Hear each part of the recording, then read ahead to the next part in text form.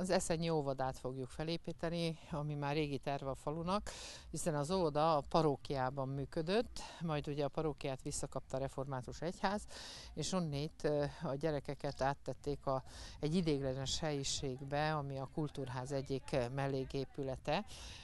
Semmi játszóudvar nincs számukra, tehát elég rossz körülmények között működnek. Ezt a területet a falu kijelölte óvoda számára, és hát az egyik választási kampány idején úgy volt, hogy valamelyik képviselő úr megépíti, de nem lett belőle semmi. Most az óvoda program kapcsán a Kárpátai Magyar Pedagógus Szövetség ezt a területet megvásárolta a falutól, felépítjük az óvodát. Immár a terveken is változtattunk, hogy a helyi építkezési magyar stílus felelhető legyen benne. Lesz benne egy három csoportos óvoda, egy tornaterem, és amikor elkészül, akkor a településnek visszaadjuk üzemeltetésre.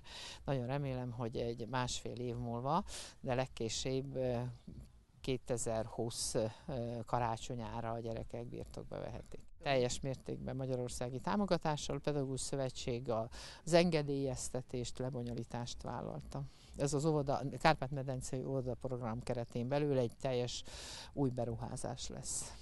Miután most egy két csoport dolgozik, több mint 40 gyerekkel szűkös körülmények között, igen nagy szükség van ahhoz, hogy olyan óvodába legyenek, ami a 21. században megfelel. Egyébként is a település nagy település, minden éven több mint 20 gyerek születik, és ha komolyan vesszük a feladatokat, akkor iskola előtt legalább két évet óvodába kellene járni ahhoz, hogy sikeresen el tudják végezni az oktatási a tanulmányaikat a későbbiekben.